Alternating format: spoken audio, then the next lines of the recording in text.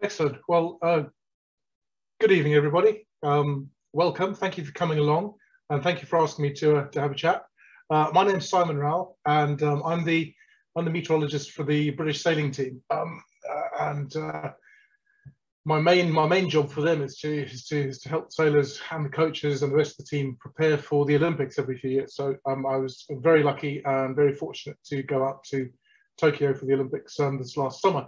Um, and in fact, I'm going out to Marseille tomorrow, um, which is on the south coast of France, and that's where the uh, sailing venue is, is, being held for the for the um, 2024 Olympics, which are mainly being hosted in Paris. Um, anyway, I've got a few. I, I, didn't come to be a meteorologist by the most direct route, so um, I've got a few slides, a few a few photos to show you. Um, I've I've always been in something vaguely technical and engineering and scientific. So uh, let me let me start from the beginning, and um, I'll show you what's uh, going on. Right. Okay. Here we go. So after that utter bit of chaos there, um, I started off as a as an electrical engineer. Um, when I was at school, um, I was always uh, vaguely into maths and physics and stuff like that. So, so I tried the very boring route. I did maths, physics, and chemistry at A level, um, and then went to study electrical engineering, um, and I did electrical and electronic engineering, um, and then went and joined the the oil and gas business and spent seven pretty happy years, quite busy and quite quite interesting years on on, on oil rigs. Uh, most I started off in the North Sea. Um, well, actually, that's not strictly true. I, I, I got sent to uh, the southern part of Argentina um, to to for my initial training performance, which is really interesting. Argentina is a very nice place. It's um, it's huge. It's just it's really big. The the uh, the, the landscape is big and the people are great.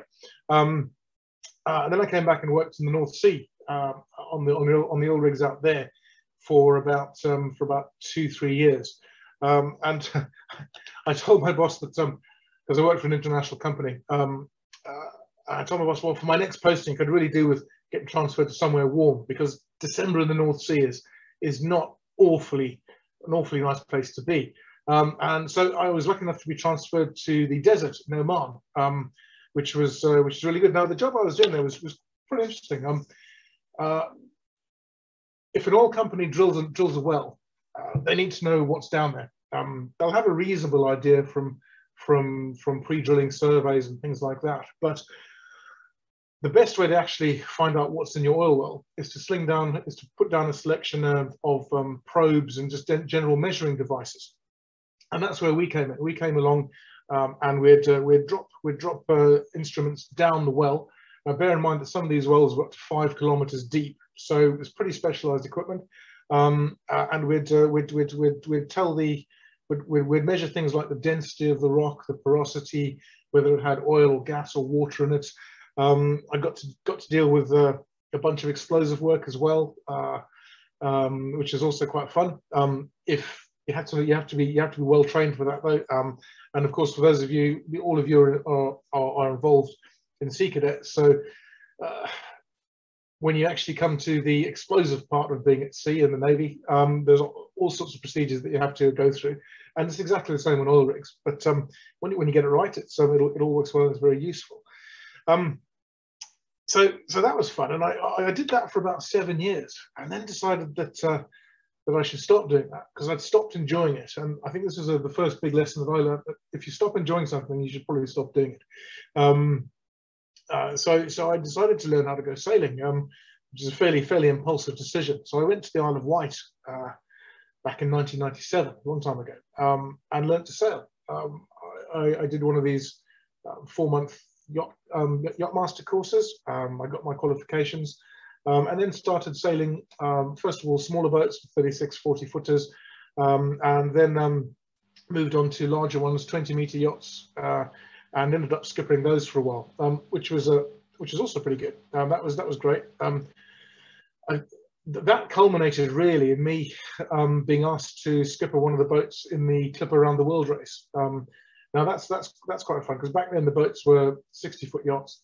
Um, uh, they're bigger now than the, the, latest fleet. They're up to 70 foot now, but back then they were 60 footers. And we, as the name of the race uh, implies, we went around the world. Um, and excuse me, uh, the the crew on that are all are all paying customers. So so you can you can you can sign up to the race um, with no sailing experience whatsoever, and you get about a month's training before the race starts. Uh, then you head off um, and sail around the world with uh, lots of stops. Thank goodness. Um, probably our longest race was across the Pacific from Hawaii to Japan, um, which took about four weeks. Uh, this is me obviously doing some in-depth navigational briefing. This was on the way up from looking at that chart from Brazil to New York. Um, uh, and I was just, the, the, the, good thing about being at sea, one of the important things about being at sea, um, which is a good lesson for life, is that good communication is essential. Uh, so I found it really useful to actually get all the crew together once a day, at least, uh, and tell them exactly what was going on, um, get their input, find out what their ideas were if they weren't telling me already, um, and just keep everyone informed and involved, which is a, like a really, really important thing to do, whatever you're doing. Um, so that went well. Um, but then after a while, oh, this is us coming into Japan on that trip. Um, that was in, the weather conditions were interesting then. We had probably 55 knots as a sustained wind speed, gusting up to 60. So a nice force 10, force 11. Um, and we had way too much sail up and we were going very quickly. It was quite good fun. Um, but anyway, that all it, it, didn't end horribly. We just took enough sail down and carried on going reasonably slowly. But that was that was good. Um, the race ended really well. Uh, we, we, we, we, we, we won the whole thing overall, which is great. And we finished um, up in Liverpool. So uh, I have fond memories of Albert Docks in Liverpool. Um, and we had a massive party that night. It was great. Then I got involved in um, in in in uh, the management of of of of, uh, of sailing stuff. So um, uh, I went back to the UK Sailing Academy in Cowes on the Isle of Wight. It's a big sailing school there, the one I initially trained and then worked at. Um, and I was chief instructor on the yachting side of it there, and that was all very well. Um, but um, I started get, felt that I wasn't I was basically starting to get bored. I'm terrible when I get bored. Um, so I went back to university again. I went back to the University of Reading in 2009 to do um, to do meteorology um, uh, because I didn't really think think of this as a as a career change. I thought of it as, a, as an extension of my sailing career, um, uh, which it was because of course part of being a uh, an ocean sailor or any type of sailor is that you have to have a really good idea of what, what the weather's doing. Um, how it's going to affect your boat, how it's going to affect the route of your boat, which way you take the boat. Because sailing across an ocean, it's not, it's not like it's not like say sailing from Portsmouth to the Isle of Wight where you just point your boat and go. Um, uh, if you have a three or four thousand mile trip, um, you have much much room for manoeuvre. You can go a bit north, you can go a bit south um, to, to to pick the quickest and the best weather for your for your trip. So I went back to university and really enjoyed it. I had to, I had to teach myself maths again. Um, had to get up to about A level standard maths to to get back into the course, um, but I had, had a lot of fun. And then um, I started doing forecasting for just sailors after that, and uh, I got into teaching as well, teaching weather, um, uh, and and the the, the notes uh, and ran, ran ran weather courses for for for Royal Yachting Association yachtmaster instructors um, and uh, sailors and clubs and that. And then, however, pure by, purely by being in the right place at the right time and um, and grabbing the opportunity. I was asked to try out to be the weatherman for the uh, for the British sailing team, um, uh, which I joined back in 2015, at the beginning of 2015. Um, went out to Rio for the Olympics uh, back in 2016. Uh, that was great. Um, uh, we just got to be a top sailing nation there. excuse me. Um, and have, as I mentioned at the beginning, uh, I've carried on carried on that role. Through Tokyo and hopefully moving forward into the Paris Olympics. Um, this was the sailing venue in Tokyo, um, looking out from the top of, um, of a big platform and up. As a sailing venue, uh, Japan's really interesting because for every, if, if you, if, if, any of you are into dinghy sailing at all, um, whenever you go to an event, there's always this document called the sailing instructions, which tells you, tells you what's going on. And there's always something in there about safety and um, uh, what to do in emergencies. Um, in Japan, because of where it is, it's on the edge of the Pacific. Uh, there's a massive, it's on a big, it's on a big earthquake and volcano belt. So, so, so I've taken this photo looking out across the bay from the top of, um, of what's called a tsunami platform, which is this dirty, great, really strong steel platform, which is um, which is built so that if a tidal wave comes along, um, uh, which does happen in Japan, uh, infrequently, thankfully, but it does happen. Um, you can, you basically run up to the top and you hope for, you hope that it washes underneath you. So, so this is the only this is the only venue that I've ever been to where, where as part of the sailing instructions you have um, you have both a tsunami evacuation protocol and also a typhoon um, evacuation protocol because the Olympics happened in the middle of the um, of the typhoon season, which is perhaps not the cleverest time, but it's okay. We got lucky, um, and we did we did great in, um, in these Olympics as well. This is um because of COVID, we didn't have the normal um, group photos with everyone before and after the event, but this was um this was Giles Scott who defended his uh, his gold medal. Um, Giles is quite a big lad because I'm six foot two. Giles is, is six foot six. He's massive, and you see both of us standing next to the lunch collection um, sign, which I think you can you can tell you can tell he eats the most lunch in, the, in, in this photo. Um, uh, so uh, Giles Giles defended his gold. Um, Hannah Mills and Eilidh McIntyre um, also got gold in the women's 470s. excuse me. Uh, Dylan and Stuart were got gold in the uh, the 49ers. Uh, Emma won bronze in the um, in the women's windsurfing, and uh, John and Anna got silver in the NACRA. So we were really pleased. The Team GB sailors did us proud, and uh, we ended up with the the top sailing nation um, uh, place, which is really our as far as sailing is a sport. That's what we were really after. So so that's that's a brief history. Now, another thing which I've got more and more into over the last few years is a is forecasting for ocean rowing boats. Um, uh, and as I always tell people who, who, who ask if I can help with, with the weather forecasting and the routing for, for an ocean row, there are much cheaper and easier ways to row across an ocean. This this this man here, uh, Ian Rivers, um, he's just uh, uh, become the first person to row single-handed from New York back to the UK. He stopped in he stopped at the, at the Scilly Isles um, uh, about a month ago. Uh, it took him 85 days to row across. He got capsized three times. His carbon fiber, fiber rudder, rudder, which is just you can see at the back of the boat there, snapped in half. He had to rebuild that. Um, uh, he hadn't he had really quite quite dramatic uh, moments and days on that trip. And also, just to make life more difficult for himself, he didn't use GPS. He he navigated his way across using a using a sextant and the calculation tables and the sun and the moon and the stars. Um, so that was great. So I worked with him on that, and that that was that was a really good project, really good project. If you want to look it up to have a look, his name is Ian Rivers, and if you look up Row Sentinel, um, because uh, Ian was 29 years in the army, uh, 22 of which were in um, uh, in the SAS, um, and he was raising funds for uh, for the SAS charity, Rose Sentinel, oh, sorry, Sentinel, um, and um, a hospice up in Hereford as well. And, and I, I, find myself working for lots of different types of clients, mostly marine based. Um, occasionally, I do work for television companies if they have. Uh, for example, the island with Bear Grylls, they had a safety boat going there every day. So they wanted forecasts for the um, uh, for that. So that was quite interesting. I've done a few series of that. Um, I do a fair amount of work um, for helping people uh, on yachts. Um, uh, occasionally, I do work for the large luxury yachts, yachts super yachts, um, and that's that's quite interesting. It's a different world. I was doing one last year, and they they they they sailed oh, their motor back because it's a motor vessel um, from uh, from Antigua to Gibraltar, and they had a three and a half hour stopover in Gibraltar and took in 125,000 litres of diesel.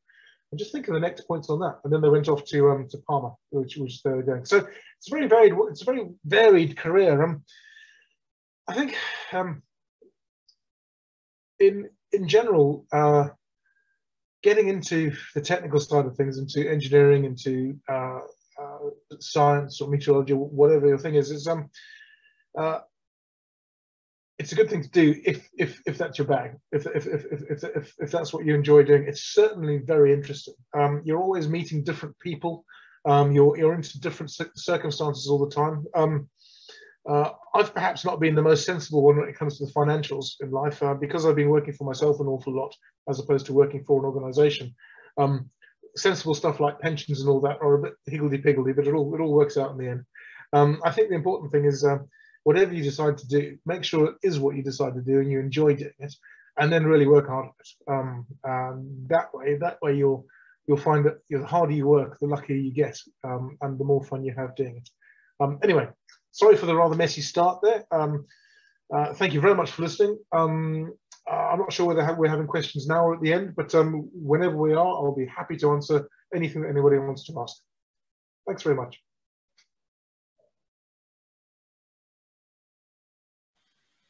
That's brilliant. Thank you very much, Simon. Um, we'll probably do questions at the end, guys. Um, I'll just do a quick uh, couple of secs before I introduce our next speaker, Fran. Um, what I'm pleased to see is quite a few of you who, uh, in the chat, I recognise the names from those who've just recently completed their MET course with the Sea Cadet. So that's really good to see. Thank you very much. Um, as, as uh, Simon said, he is the meteorologist for the British Olympic sailing team, and I'm very grateful for him to come along. I'm now going to hand you over to Francesca Allen. Uh, Francesca was on the uh, MET course in front of me at the Royal Navy's uh, school down in Devonport and is now working at the Naval Air Station at Culdrose. But uh, I won't steal any more of her thunder. I will just quickly change over and try and get the screen to share for you. That's fantastic. Thanks, Paul. Hi, everybody. Good evening. Thanks, Simon. Obviously, I sat through your talk once before again, but it is just amazing to hear your story again um, and everything you're doing. It sounds so exciting. I'm really jealous. Um, I sort of wish that was my career. Maybe one day it will be. Who knows? Uh, but we'll just, there we go. The slides are coming up. Perfect. So I will crack on. Um, my name's Francesca Allen and I'm a lieutenant full-time in the Royal Navy, uh, which is very similar to Paul. And I'm an HM officer, so that stands for Hydrographics and Meteorology. And hydrographics is a big posh word for surveying the seabed, and meteorology is the big posh word for weather forecasting. Uh, but they put those two disciplines together because in the Navy's eyes, they're both science subjects, um, and you are what's called an HM officer. Next slide, please.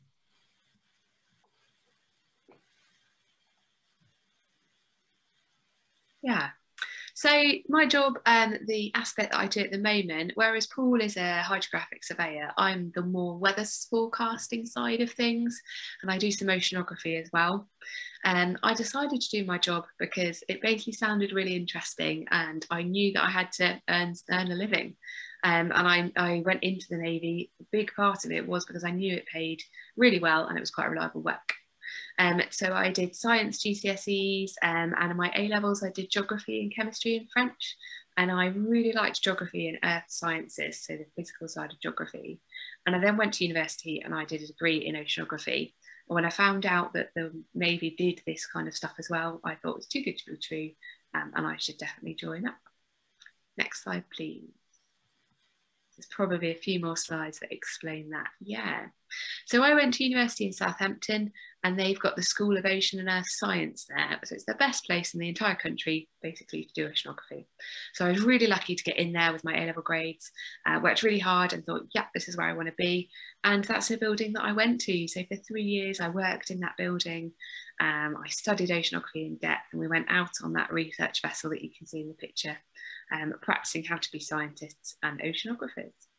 Next slide, please. Um, then I joined the Navy, so this is in 2010, so 11 years ago now. And our basic naval training for officers is here at this place called Britannia Royal Naval College, which is in Dartmouth in Devon. Um, some of you might have already heard of that place. So all naval officers go through this place to have their basic naval training, um, and then warfare officers stay a little bit longer and do a bit more. Um, so I went here, I lived here for a year. Um, it's a beautiful looking place. Um, they do make you work quite hard. We did a lot of marching, a lot of running around, but also a lot of academic subjects as well. Um, and I still have really, really fond memories of being there. It was my home for a year, um, and I made some really good friends 10 years ago now who I'm still in touch with. Next slide, please. Um, so then you do spend a year shore-based to start off with your training, and then eventually the Navy thinks it's quite a good idea to get you to actually go to sea and see how you find it.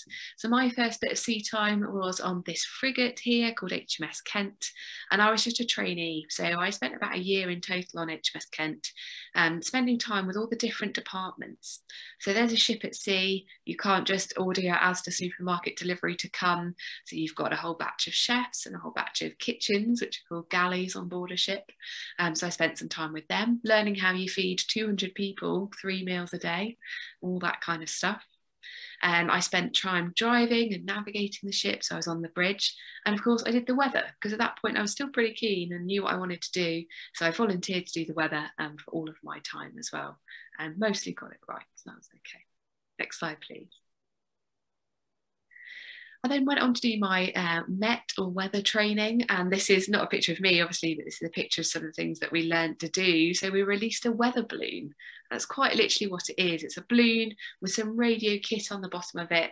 It expands and expands, it goes up into the air, and it gives us data on the temperature and humidity of the air above us. And from that, we can understand what the weather is going to do on the ground. Next slide, please. So after I'd done my basic HM training, which was in Plymouth, I went back to sea again and I spent some time on a survey ship. And this one here is the one that I spent the time on. So this was in about 2014 to 2016. And this is HMS Echo, which is one of the Navy's survey ships, which you might have heard of. All sorts of kit. I'm sure, um, Paul, have you been on this ship as well? I've been on a, ooh, am I muted? No, no, I can hear you. Oh, good. Um, I've been on a sister ship, Enterprise. Enterprises, actually, they look exactly the same. They're just called two different things. Um, so I went with this ship all the way to Australia. I went to Singapore, went to Bahrain, spent some time in the Gulf. I went to the Mediterranean and the Red Sea as well. So loads of good times out and about on HMS Echo. Next slide, please. Then the next stage of my um, career was learning all about the oceanography. So oceanography is another discipline. It's quite literally the geography of the sea, but they tie it in with meteorology and hydrography, sorry, because it's another science. Um, and what we do in terms of oceanography is all about how submarines act, because like aircraft fly in the air, and you need to know about weather, submarines act in the ocean. So you need to know about the oceanography. So I did some training that got me um, up to scratch on knowing all about what the ocean is like. Next slide, please.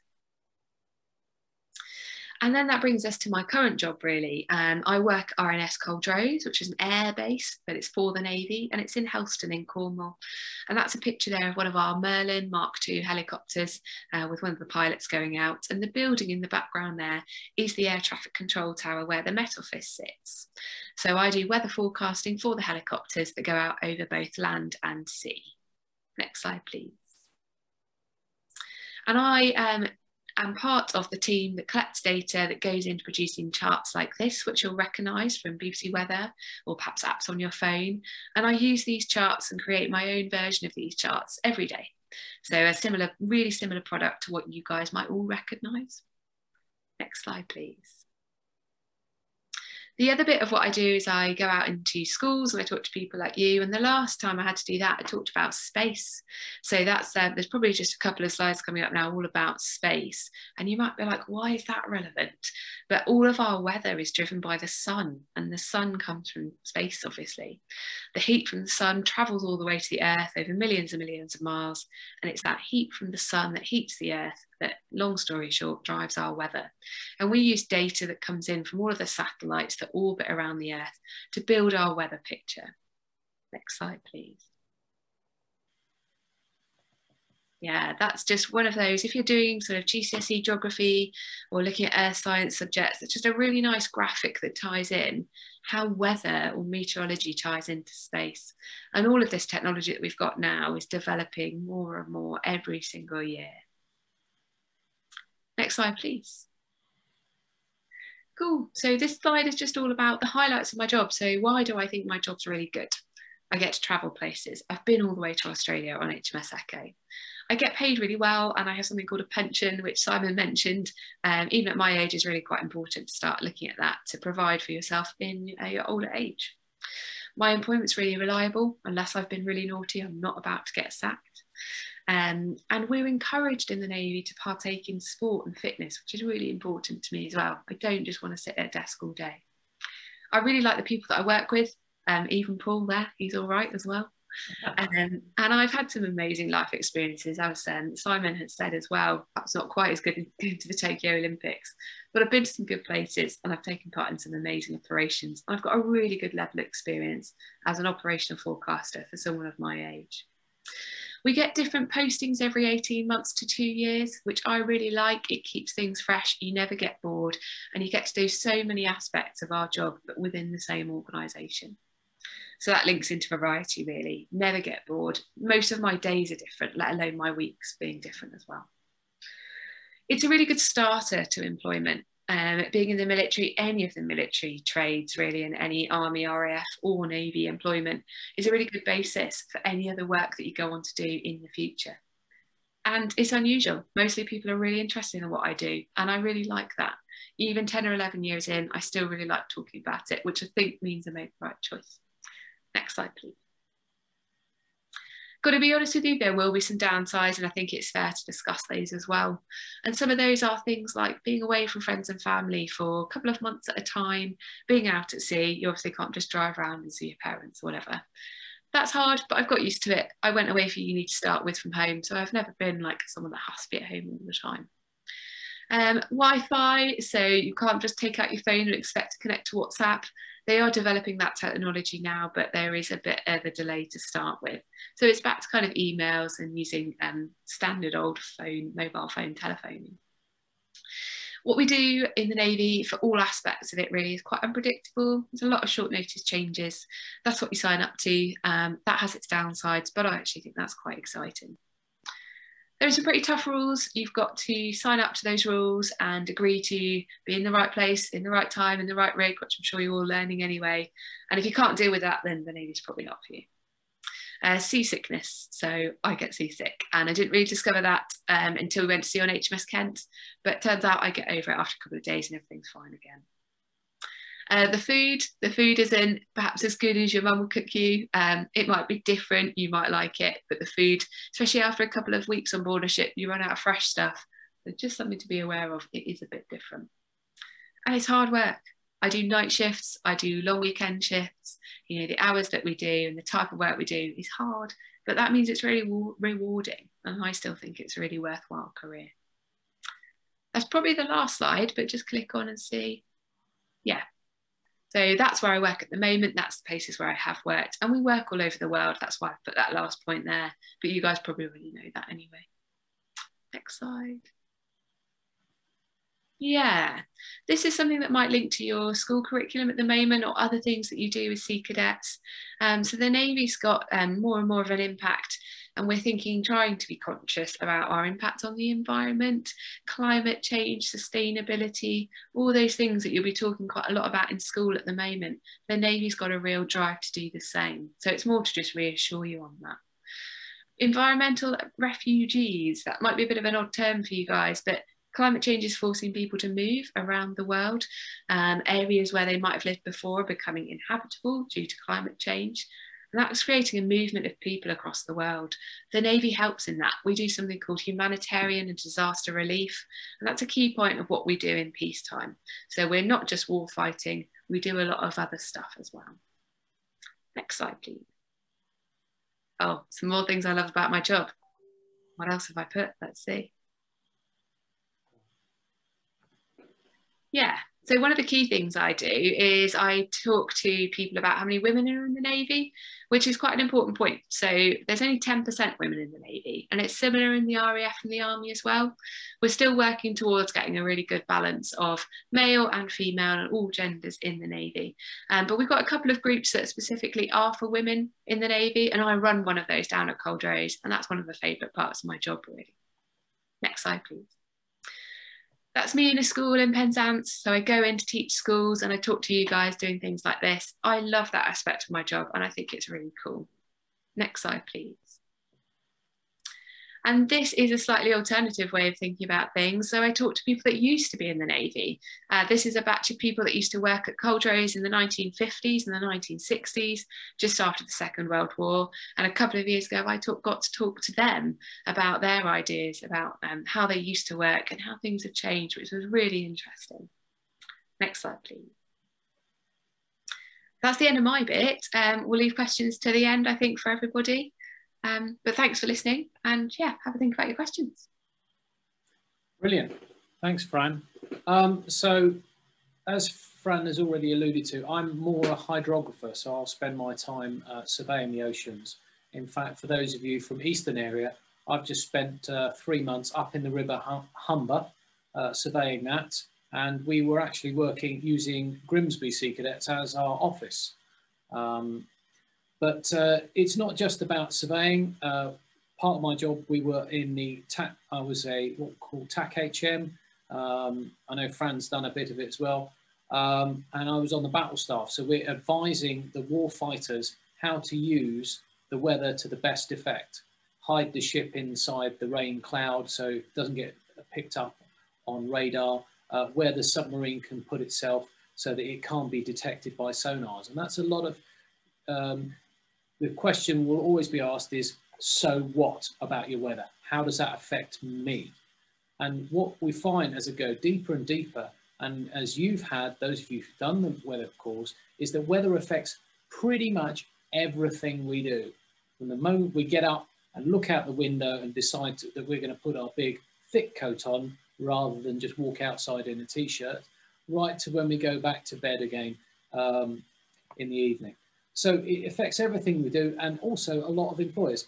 Um, supermarkets will watch the weather because the season that will drive what goes in the seasonal aisle. They'll know that there's a heat wave coming and they'll start ordering in extra barbecues. Um, power companies, uh, particularly during the winter, when there's a storm coming, they know that everybody will be cranking up the central heating, so they'll be bringing extra uh, generators online.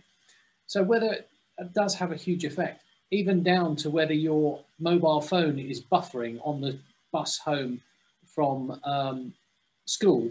That's probably because there might be some weather effects on the on the mobile phone signal. So it gets everywhere. So at this point, um, if I could go back to Ben, who uh, is our question master, and um, just take us through the questions. Yeah, so if anyone's got any questions, there's down at the bottom of your screen, you'll have a Q&A section. You're going to put them in there, and then the panel will be able to answer them. Oh, uh, quite a few, isn't there? Yeah, you've got one that's come in. Um, this will be for the two Royal Navy guys. Uh, do your postings every two years alternate between sea and shore based? Should I go with that one first, Paul, and then you can? Yeah, by all means. Yeah, so I've seen that one in the chat, and then the rough answer is yes, they do. That's what they try and do. Um, but the caveat to everything with the Navy is it depends, basically. So if there's a gap and it's another sea job and it has to be filled by someone, and um, then you might do two sea jobs in a row. Um, for me, my first two jobs were sea jobs. Um, so in your first couple of years of being a naval officer or naval rating, you'll quite often do back-to-back sea jobs um, because you need to get the time in and then the shore jobs come when you're a bit more further on. Uh, for my part, uh, yes, it has alternated uh, quite a bit. Um, my first three jobs in the Royal Navy after graduating, uh, I started out as a marine engineer and then eventually uh, became an officer and a warfare officer. Um, so they, they were ship-based, completing all my task force, working my way up through the ranks, and then shore-based again. And certainly as an officer, I've done three ships back-to-back, um, then became a HM, um, subspecialising. And uh, after doing the course, I went to the Scott, uh, ended up being the operations officer there, then to Yeovilton to do my time in uh, Tower, which then prepared me for my TAC HM. And then I spent three years on the mine warfare battle staff. So we alternated six months in the Gulf, six months back in the UK, um, running the mine hunters. Uh, from there uh, to HMS Enterprise, the ops officer there. And now I'm shore based again with the mobile survey team based out of Plymouth, but we're going all over the uh, UK and when needed, uh, out to the Caribbean for hurricane relief or anywhere else that uh, in the world that requires surveyors to check the safety of navigation because ships running into rocks is uh, makes for really bad press. Um, there's no other questions coming yet, but I'll have one. Um, this will be for both sides as well. So we'll start with Simon. Um, if because obviously all the cadets are going to be between the ages of 12 to 16, some of them are going to be older. If you're interested within the civilian life, how would I go about joining as a meteorologist? You're on mute again.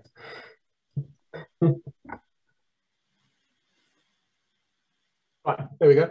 Um, two two main ways you, you to, to, to become a, a meteorologist you need a meteorology degree because it's um it's it's it's a fairly complex subject there's two ways of doing that really you can you can actually um, do a three or a four year meteorology degree as a bachelor's um, or you could do um, you could do another science-based um, degree uh, anything from geography to engineering uh, to maths to physics to anything really um, but science-based, uh, and then do a one-year uh, master's degree um, on top of that, which is basically the route that I, that I took. Um, uh, once you have that meteorology degree, then uh, quite a few people do who, um, who, who, who do that from the UK, they'll go and work for a um, train train further uh, in practical forecasting um, in, in an organization, for example, like the Met Office, which is based in Exeter. Um, uh, and then, then go on from there. But really, to start with, uh, to to become uh, an operational meteorologist, you need to study meteorology uh, at university level in one way or another. Brilliant. And then on the other hand, for the Royal Navy, how would I go about joining if I wanted to join in the Royal Navy? Fran, do you want to take this one? Yeah, yeah, okay. So it depends whether you want to be a rater or an officer, but the very first point of call is the Royal Navy website. So it sounds like a bit of a cop out, but Google it. Um, the, the Royal Navy Careers website will have all the latest up to date stuff and there. And you get an interview with your careers office, so your local armed forces careers office, and they can give you the detail on the educational levels that you need to join at each. So generally to be an officer, you don't have to have gone to university, but you do have to have done A levels or some sort of equi equivalent. Whereas to join as a rating, you need GCSEs in certain subjects and to a certain level. Um, but once you check you have all of that, it depends what specialisation you want to be. So when I joined as an HM officer, you had to have done a degree actually in a science. And um, so for me, I'd done oceanography, so I was absolutely fine. Um, and that really let me come across um, from being a plain old warfare officer to an HM officer. And that worked really well. But now the rules are different. For example, you only have to have done A levels, and then you can actually do a degree in meteorology within the Navy, within your training. Um, so my first bit of advice would really be to Google the Royal Navy Careers website, and that gives you the majority of up-to-date information. I'll add on to that actually, Fran. Um, from my own experience, um, the I wasn't academically gifted in any way, shape, or form mm. uh, when I was at school, um, and then it was actually the Royal Navy that gave me the opportunity um, through as a rating to work my way up and eventually get um, it was a degree in marine engineering at the time, but at the time I could then transfer and do the um, course through the which was accredited with Plymouth University and ended up with a bachelor's uh, and a postgrad certificate uh, afterwards. So if you're not feeling academically inclined at the moment, there is ways if you want to make up for it later. But I have to say that that is a supply and demand thing. Um, at the time, I was one of the lucky few who managed to get through. Um, since then, I think that's closed at the moment. But if we have another glut and very short meteorologists, then they, they may change the rule, change the goalposts again. As Fran says, always worth a chat with a careers advisor first.